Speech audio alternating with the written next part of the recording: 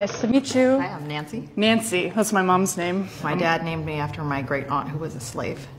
Okay, I'm sorry.